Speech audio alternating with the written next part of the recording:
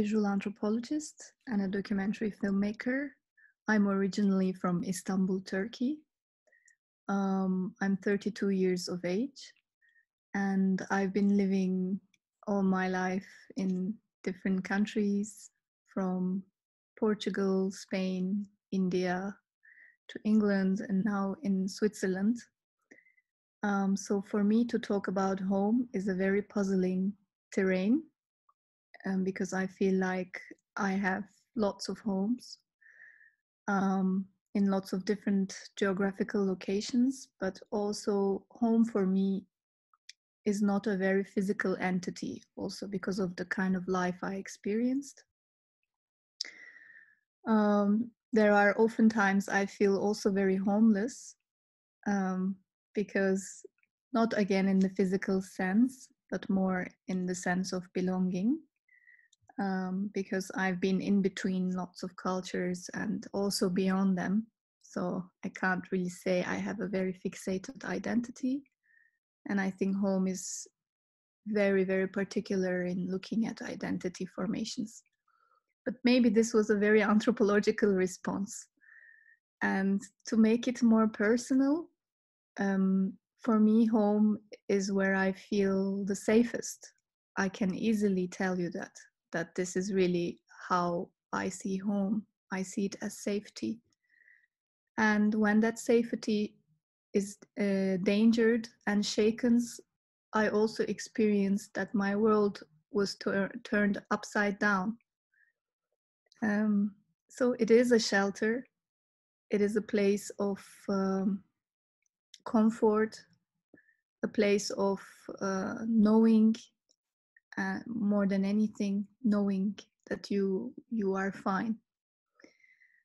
Um, so then if I feel safer at other homes too, then I can adapt.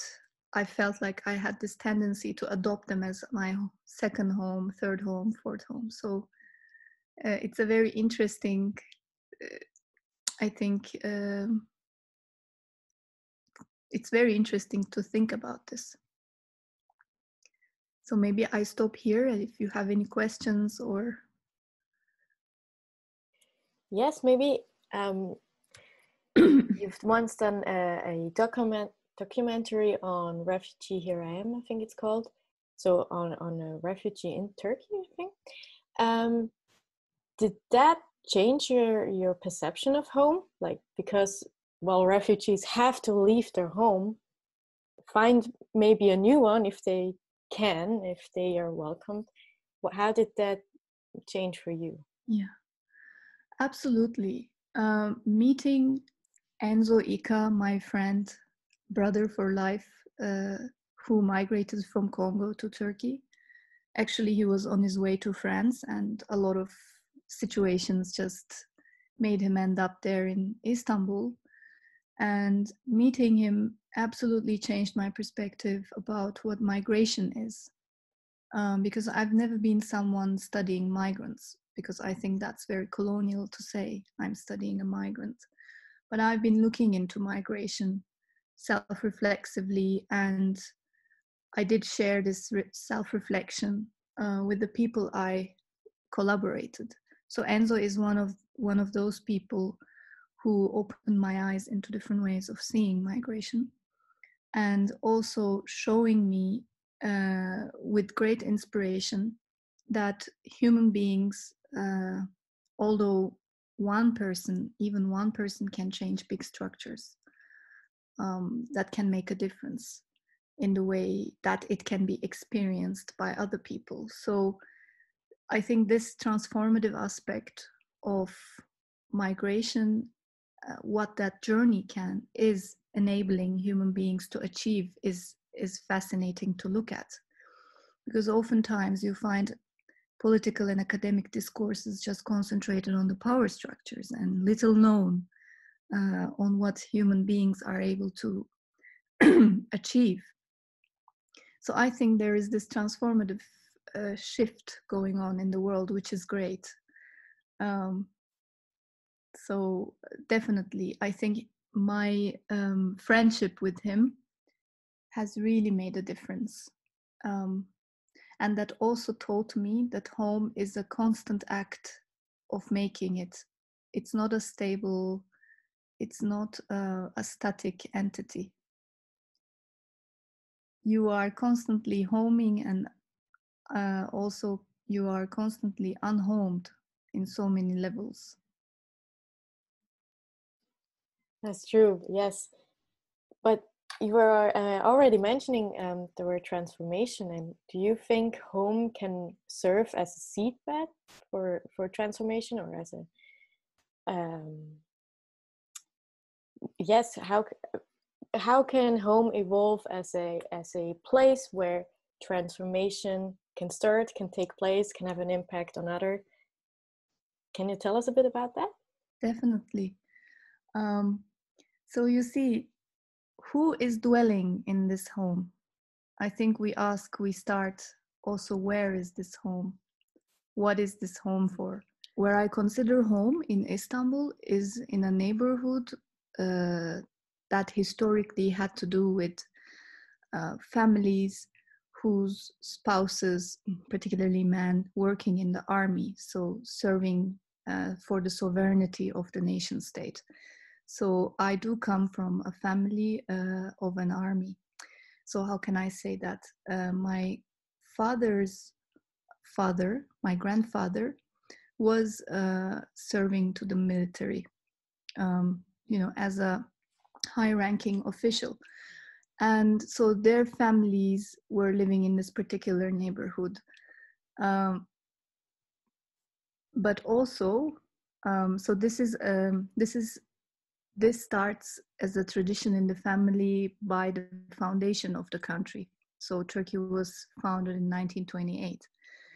Uh, before that, um, my father's family were actually cave dwellers in central Anatolia in Turkey.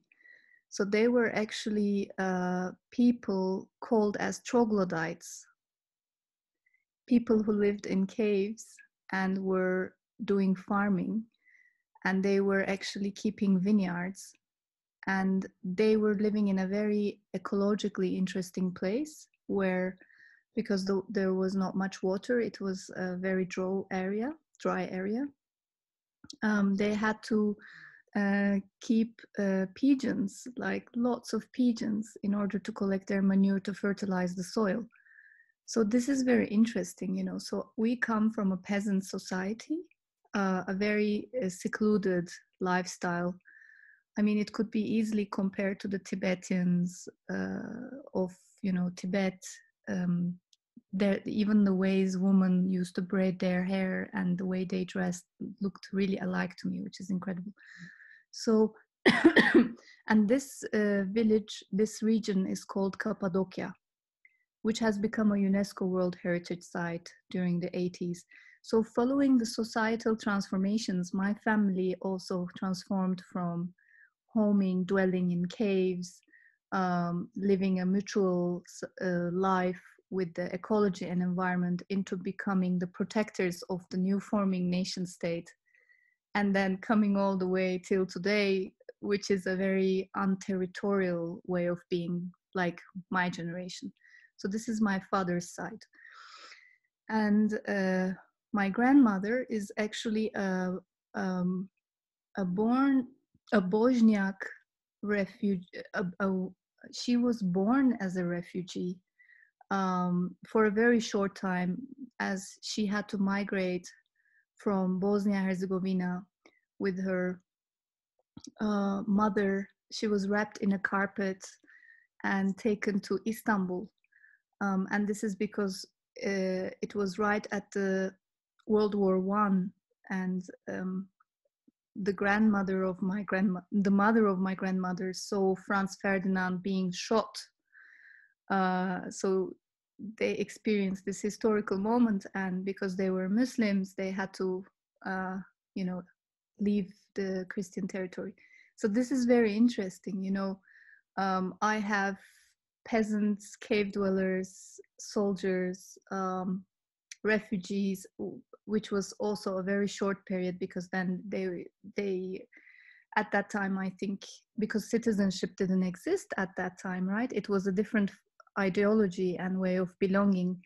Um, at that time in the Orient, people were talking about ummet, the ummah, and the khalifa, and so there wasn't this notion of citizenship at that time, which formed later. And my family became one of the first citizens of Turkey because of being uh, occupying the right ethnicity, you know, being Turkish which is also a very complex uh, situation in our country. So um, I think knowing this, discovering my roots, and reflecting on my own family history helped me understand what is home. Because home could be uh, your origins, you know. So whenever I go to Cappadocia, I feel this incredible sense of peace uh, it's a very historical, mythological, surreal landscape. You know, it's it was it appeared because of the um, the the the land was formed by the eruption of a volcano. So when you look into the into the pictures, you would be amazed to see it looks like a moon surface. So from there to to Istanbul's armies, and it's just a big radical shift and transformation. And this tells our own lives. I mean, um, we do belong to transforming societies, so the notion of our home will change. So by the time I was coming into these realizations, living in Istanbul, um, meeting, you know, Enzo, a Congolese refugee, then meeting Maiza Al Hafez, uh, who fled from Syria that time, and like being with them i've seen how they were constantly making recreating their own communities of support how they were looking into in, being included participating in the neighborhoods and how they were actually making their own homes and i found a lot of similarities because they also have uh, they're also coming from transforming societies. So i realized that we are not really different at all. We have differences of course you know enzo is a french speaking man um, who who is now fluent in turkish and in english. Uh, you know Maiza is an arabic speaking woman who's fluent in french english and now even turkish. So it's uh, it wasn't that difficult to communicate at all no. But uh, like seeing how we are uh, beings part of bigger transformations that helps you understand and locate who you are. But this doesn't necessarily mean that only these transformations shape you because you you are also um, um, you have the capacity to also enact your own transformation the transformation you want to see around you so i worked for more inclusive cities um, I, I, I advocated for an Istanbul that it would that it not just belong to Turks but it should belong to everyone who, who decided to inhabit there. So a less territorial, less nationalist approach. And that's what I use the idea of home, the various home idea I have uh, in bringing that out. Well, thank you for sharing us the story of your different homes. um, I would give the opportunity to Leandra to ask a question at this point. Thank you very much. That was really, really interesting, especially to see that not only you have had a very um, fluid sense of home and a never changing way of what home means, but also your entire family, and that it's embedded in your history to to change or to um, find home wherever you are and to not understand home as a physical entity as you said but more as a concept um, that was really very interesting and now i'm um, thinking about since you are one of the co-founders of home for humanity what were the things that you felt home for humanity needed to be a true home um, exactly. So, Home for Humanity plays a, a, vital role in my understanding of what home means and what home could be and what a home is capable of doing uh, or giving into the world. And that's right at the time when I was realizing about my own history. That's the time when I was actually reflecting myself in relation to a lot of questions I had on migration, uh, writing my PhD dissertation. So that's the time uh, because I did my studies in Bern. It is not too far from Hotonnes. Um, like with the train, I used to take the train ride, which wasn't. It didn't take me even four hours to get to Home for Humanity. So yeah, being in close proximity to their to Alexander's and Rama's home, I think was one major reason why I had the chance to be there quite often. Um, but this is not the only reason. Of course, there were uh, more. uh, there were better reasons to to keep going there. And you know the other one of the other founding members is pius um, who lives in who is also originally from bern but lives in italy uh, also at the same time. So uh, pius used to drive me from bern on his way to home for humanity too. And you know we had this uh, hours and hours of conversations on what home for humanity should be for what it should be what kind of space that could be co-created. And of course i mean alexander and rama they were already they planted the seeds of it and they were already living and enacting it. But i think they wanted to share this um, uh, with also me pius and thais who's from brazil um, and arjuna you know their son uh, into making it a more of an experience of the commons you know because of course um, having two people is already a big big big uh, collaboration. But then having more collaborators uh, enacts newer possibilities into what you know home for humanity can achieve. And uh, so this is one side of the story. The second side of the story is again related to my phd and my work with enzo and maisa uh, Rama and I met in 2013 in Istanbul, actually, for the first time at a peace UN IOM peace event in France Palace. And Enzo was invited to um, uh, give a talk, a brief talk, but as well accompany Rama with his music as she recited poetry, uh, as she was taking um, enacting the theater of transformation. Uh, that's the first time we met there, and then we went to an Ethiopian restaurant. And that that was the time I got the chance to. I was there filming Enzo, right? So because we were doing this documentary, so it's this coincidence. It's like me becoming Enzo's shadow, and that's how I learned of Rama. And of course, Rama as a storyteller, she was really interested in this. She wanted to know, you know, why and so what were we trying to achieve. And ever since we kept in touch, and a few more times she came to Istanbul um, very regularly, and she met the research participants of my uh, PhD, the unaccompanied asylum-seeking youth, and she was with me. She spent a whole day with me. Uh, and with the youth whom we had an amazing day to, together. And it was, I think this experience really touched her and stayed with her.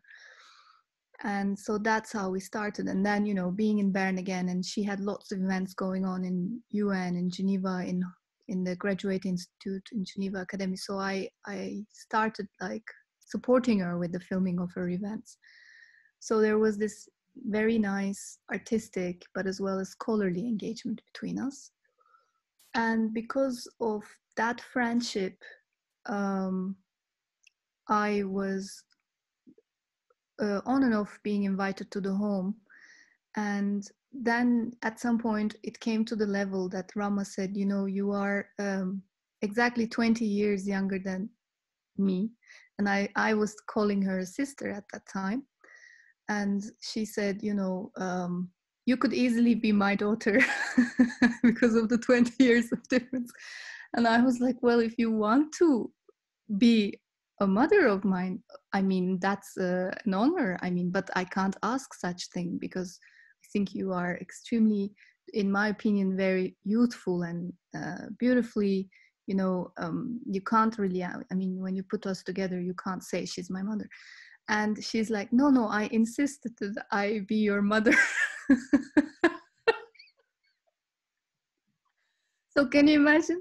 And of course uh, she wanted to adopt me as a daughter because of many reasons but mostly uh, spiritual connections but also that time those were very precarious times in turkey and she was convinced that they should adopt me uh, into france and i shouldn't worry about the political uh, sufferings in turkey.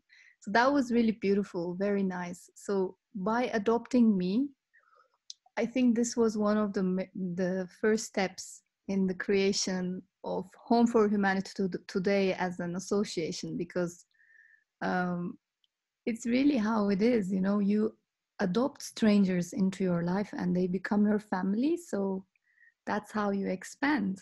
That's how you um, because if imagine i mean if you were always with your inner circle of family and you never adopted strangers as husbands wives you know children that doesn't happen i mean that enlargement doesn't take place. So yeah so this adoption uh, was a key thing. So in this way also alexander became my father and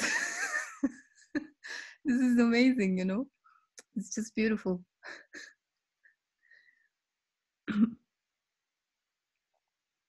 I do have a follow up question, but I just want to say it's so lovely that they adopted you and that you're part of the family. And seeing you talk about it is so nice with your big smile on your face. So, really, really lovely to hear.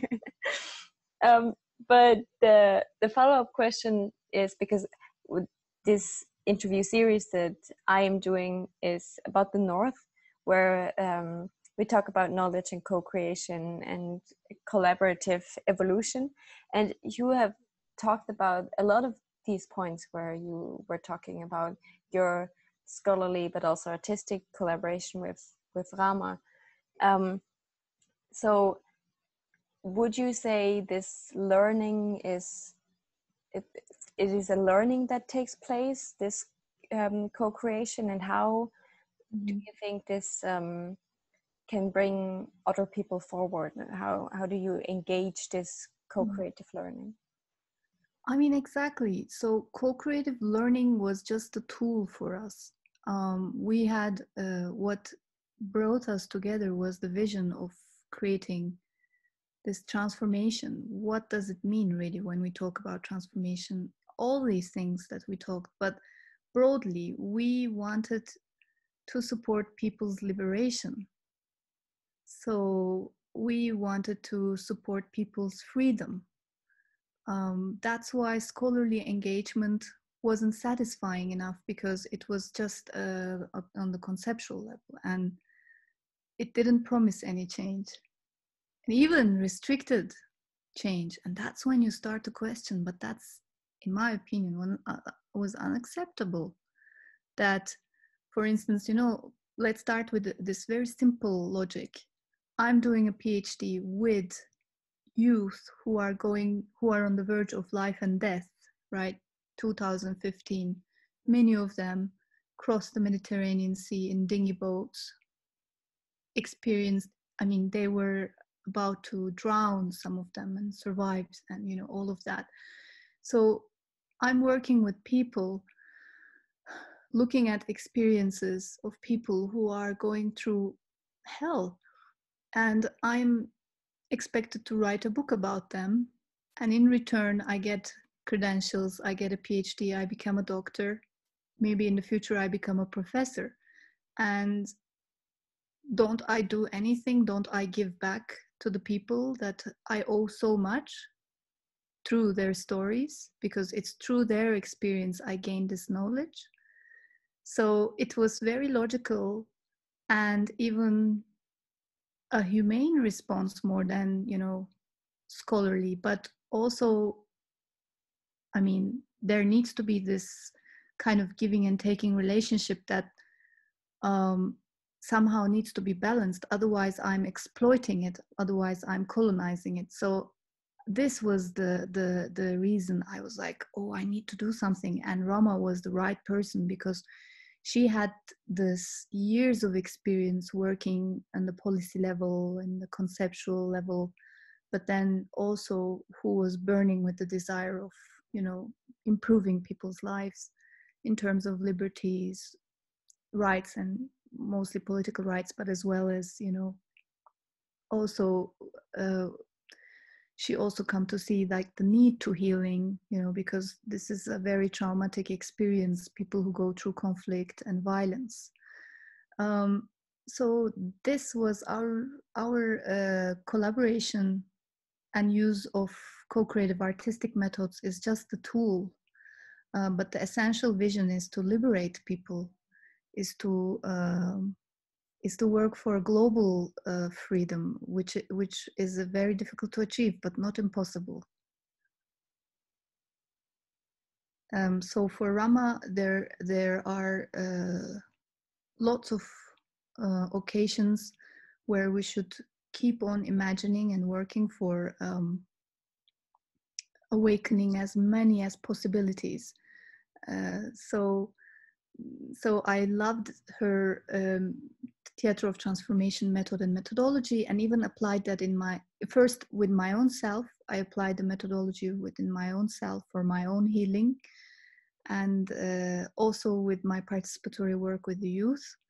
Um, so she gave me a book. Actually, she gave me a tool to to achieve that, and and because this is a relational process, then in return, she also had lots of inspiration, you know, meeting young people, meeting Enzo and Maisa, and and we did this uh, one event, United Against Borders, at Home for Humanity, which was incredible. Lots of artists from conflicted areas of the world came to Home for Humanity, um, and then they did a choreography together, a performance together, and enacted it in the UN library in front of policymakers. I filmed the event, and I think that that film, like the whole thing, the whole experience, empowered the artists so much that uh, it even took part in Maisa's political asylum into Netherlands. So it is possible that we really did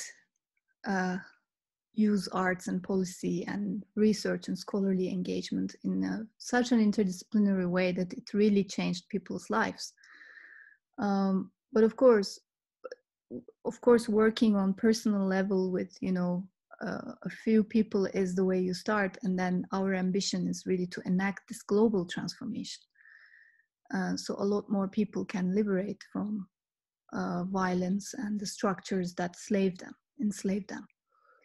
Um, so this is the kind of world we inhabit in our in our minds, um, and maybe sometimes it's tiring, right? Because you just want to enjoy your coffee and just don't think about these matters at all. And there are times like that too. Thank God, I'm not always thinking about how to save the world, but um, I think at some point in every people's lives there is a phase like this but with some people maybe it becomes their life ambition you know? So i i can't judge anyone or i can't say like we are the coolest people or something but we are on a constant struggle. We are never letting it go. I think this is why uh, we came together. The kind of people that came together that comes together at home for humanity are this kind of people people who never let go of their vision.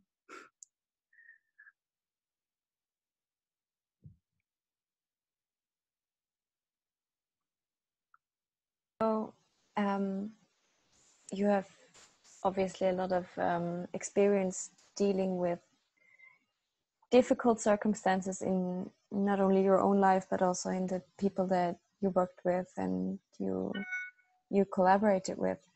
Um, and we have also tried to think about this current global crisis um, of the coronavirus, which is different to other crises because it is such a global um, uh, concern, which could bring us together or could separate us in in different ways. Um, so, with your background, what are your thoughts on on how we can um, emerge out of this in a in a stronger way Um, what I believe is the the experience of isolation. I think is what touched most uh, people, and the fear of losing loved ones, um, particularly the young ones. You know, whom are not under uh, direct threat, but are under the threat of um, mental, you know, hazards because uh, we value and there's so much people we care who are much elderly and maybe have conditions that are making them vulnerable in front of the virus. So, first, this fear. Second, this isolation. Third, you're not allowed to touch people. You know, there is this incredible, for the first time in our lives, our bodies, our simple bodies became weapons uh, possible weapons to uh, the deterioration of someone's health. And this is not these are not easy things to deal with. This is a is a big trauma for i think it's a global trauma for everyone even for us who are very healthy physically um, but we have now this mental issue all of us you know. How am i going to touch again another human being um, except those that are in the very inner circle and you know so so this troubles me a lot as in you know what's going to happen to our human connection. Um, is this situation going to be abused by crisis capitalists? Is this going to be abused by nation states? Who will use this as a, as an excuse just to to make lives for migrants hell again. Um, somehow the migrants wherever they go they're like always they become the scapegoat you know they become the black sheep. Although all nations in this world are built on the labor of the migrants. So this hypocrisy and um, these fears i have in mind and questions i have in mind is this going to be a breakdown you know? Or um, will humanity go through a breakthrough saying now i have more empathy. I have more understanding of what refugees migrants are going through or what um, people with less less safety how are they uh, providing for their for their families at times when they're not allowed to go out and work? Uh, because the world was divided you know of those who were fearing if they stay home they they will go hungry. And those who are stuck at home who keep eating because of this emotional eating disorder and who are worried of get, becoming fat you know? So this was i'm i'm maybe oversimplifying the situation but really there were people who were who are complaining for eating too much being stuck at home and those who are in fear that they won't find anything to eat because they can't work. So this just exposed everything that is wrong in this world. It everything became so transparent all of a sudden. And this is the moment of big change either to the worse or to the better. Of course because i am in nature a very optimistic person i i will say tell you that things will get better. This is my defense mechanism maybe I refuse, I refuse, I refuse to uh, think that there is no hope. And um, let's see, I maybe, it's still early for me to say something because it's still in the making, but it is true we are in a turning point and big transformation is already happening. So let's see, is it for the better or not? But I can also tell you that although these worries there are lots of good solidarity actions happening around the world. So this is already very promising.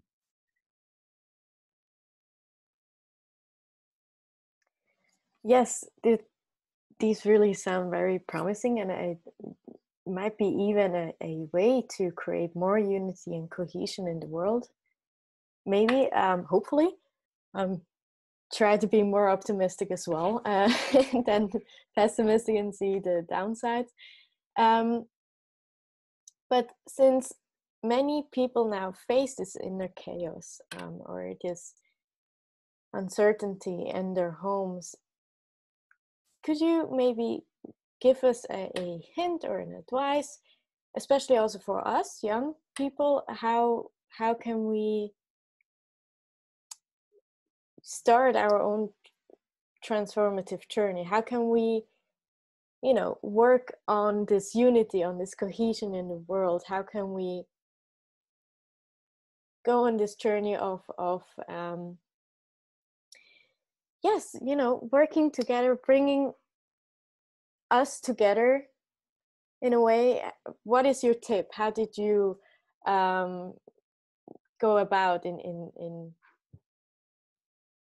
your last years or in your life I think for the time being, since you know you are physically stranded at home and uh, also maybe in your neighborhood, and for a while maybe in your own country, because we don't know when the lockdown is going to be over.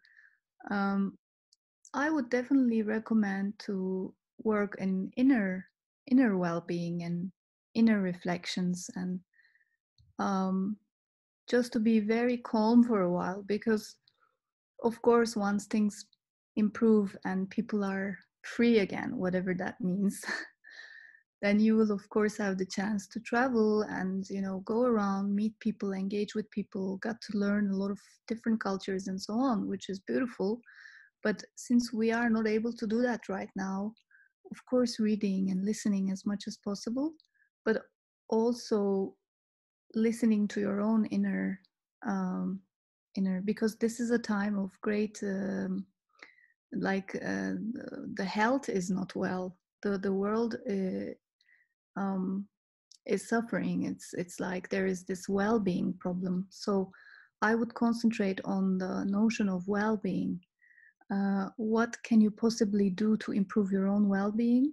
And how can your energy uh, contribute to that unity so i think what you're doing now you know you are engaging with us and then you will make this more visible uh, by spreading these ideas is already a big step forward. And in the meanwhile you know taking it calm make sure you take care of yourselves good and uh, yeah I, I suppose my first recommendation is self-care and as much as energy you have to use it to uh, give back to the world with um, th- this kind of very innovative projects. So you could po- potentially come up more of your own projects also in the future. Um, so and for that you just need to keep on reading and listening and you know just constantly learn learning i suppose well, talking about learning, I will give it back to Leandra. She has one more question about that. Thank you. um, yes, one of the questions that I wanted to ask all of the Northern interviews is um, a very simple one, but one that connects uh, wisdom, learning, and home. And it is um, what is one thing that your mother taught you? There is so much that my mother's i have two mothers right? So so we know what my mother rama has taught me uh, never giving up uh, on the vision. And uh, my biological mother suheila uh, she taught me to be um, from her point of view uh, I was capable of doing and achieving everything. So I think this feeling, uh, she passed it to me very effectively. she never restricted me from anything and, you know, always very supportive about realizing my own potential. So I think this is what she, because that's what she gave me, this is what I feel like giving to every young people I meet. Um, particularly with the with with um, with all the people who are yeah younger than me or even older than me. Doesn't matter actually the age but i feel like i should contribute and support in everybody's own um, journey of realizing their own potentials. So this is what i have. Um, i'm not into this you know self-indulged approach of how great i am how talented i am. I, I see no meaning in that. So there is this um, this compassion that comes to me from um, and i'm not saying this as in a religious way or i'm not saying this in a but i'm seeing this in a spiritual spiritual but also the most logical most intellectual stance because um, my well-being is dependent on your well-being and your well-being is dependent on my well-being right? So i think this point is made very clear with what we are going today. So this is thanks to my mother that i have always this feeling you know always nurture other people always nurture everything around you because this is directly related to you. Maybe it's even selfish still to to think this way. Um, because whatever we do we are beings who are coded to survive. That's life. Life equals survival. So it's very normal that we need we should think this way. This is our nature. If we want to survive we need to make our lives each other's lives better. We can't uh, we can't say oh there's a war there. Let me get their petrol and just live comfortably in my flat having electricity. I'm how dumb how illogical how stupid approach. So thankfully just hoping this stupid approach is going to end. So when it comes to recommendation i really really recommend you read and um, watch all talks and books from vandana shiva because she's one of my role models because she has this book called you know soil but not oil and there is this new book called oneness versus 1%. So she talks about, you know, how humans can unite against the 1%, the privileged 1%, the billionaires who want to kind of rule the world and so on. So do at your spare times, do read, water conversations. It's going to make so much sense. Um, so our future is an environmental one, is a spiritual one, and less of you know um, economic one i need to say. Should be i mean because it's not sustainable what with the life we are in right now.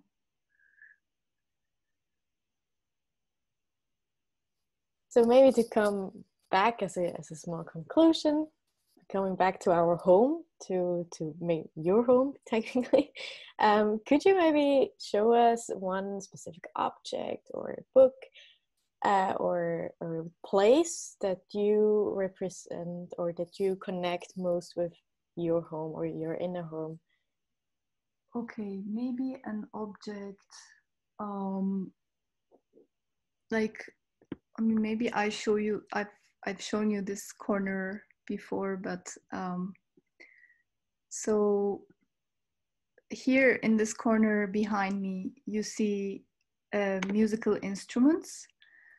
Actually we i live with my boyfriend here and uh, both of us we are not um, like we did not master any of these instruments. I mean we are trying.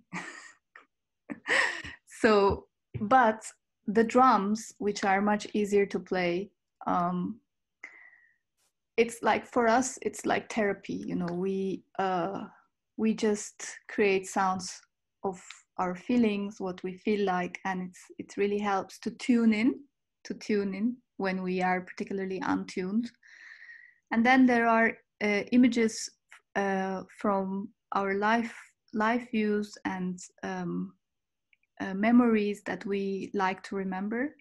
There is this little flag of Tibet because for me, uh, the Dalai Lama uh, his compassion and what he's been giving to the world is so sacred and i love tibetan culture and um, everything that tibet represents that i'm hoping that will also come to a happy uh, ending one time one day and then we have lots of flowers and a, and a huge plant uh, on our bookshelf.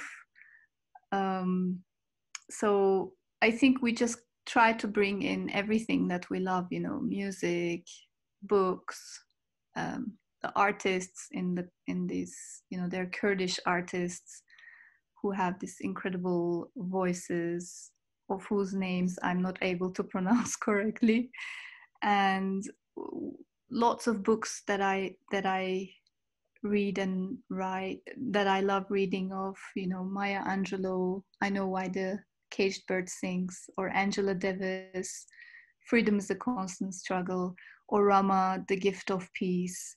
So, or Alexander's book, Integral Development, Integrity. Um, so, Gandhi's, Dalai Lama's, Vandana Shiva's, uh, bell hooks, all the kind of people. So it's like kind of a little universe, a corner, uh, a universe that is just a bit more um, coming into concrete of what I have in the mind and in the soul. Um, and then, you know, these colors I like, um, these colors of pink, green, and blue. Somehow there is this uh, coming from my visits to Morocco. And maybe I come close to show you finally the stones that I collected uh, from my visits to Morocco. Um, I love them. It's, they just give me good energy, you know. um, and maybe I make a sound for you also.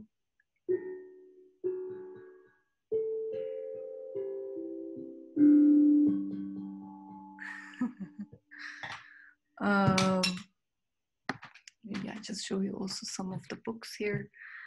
Um, maybe here, you know, who I have that I will read soon. Um, yeah, this one, Maya Angelou, I, I wanted to read it for a long time. Uh, Paulo Freire is another author I really love. Um, just I like this image. It's just a postcard I found in one of the cafes in Bern of women working.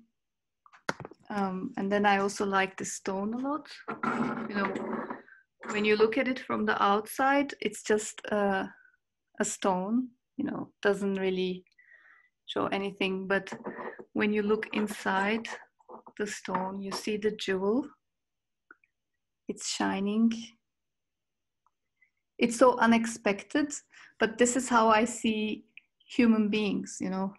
We all have this uh, inner talents and beauties that needs to be revealed. But for that you need to crack the stone. You need to, to crack the hardness the borders of your you know of your being so you can really show the world you can really um, then also there are stones that I found in the mountains of High Atlas. I'm, I just took some because they were so beautiful. Um, like this one also, I found it. You cannot believe this one I found. so there was a moment in my life where I was like obsessed with collecting these beautiful stones, like a, a bit of a treasure hunter, you know. Um, and then of course there are these kind of stones that you know I love touching. Um, and here's something inspired from Rama actually.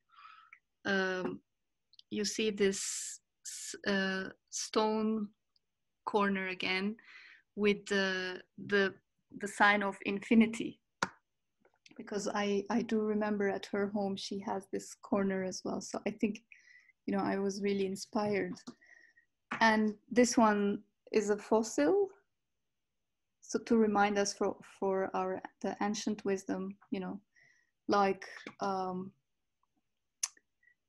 like because i do read a lot on well-being also uh, the amchi. He's uh, dalai lama's amchi and a tibetan medic practitioner. And i really like that a lot because in 2012 I I made that film with uh, the Tibetan doctor also. She's one of the one of the first Tibetan woman doctors. Uh, I met her in Ladakh, and this was another very transformative journey for me to think of what well-being is, what um, what healing is, what does that mean? Because um, this uh, Tibetan medicine is highly um, works through the ideas of preventive healthcare, that you eat and live correctly so you don't get ill. So you know if public healthcare was uh, better off today, there would be less people now in in uh, emergency rooms. So it's very important that our ideas on well-being change immediately. Um, yeah, so you know, I could potentially talk for hours, which I shouldn't, but um, it's a small corner, but it has the worlds in it for me. Um, and then finally, I can show you our huge terrace. So now I come to the um, to the kitchen and I will show you the terrace where we spend time the open air. Um, so there was a hammock today. We didn't put it because of the rain. And our flowers, we just started planting them. You see a lot of flowers there. Um, that's it.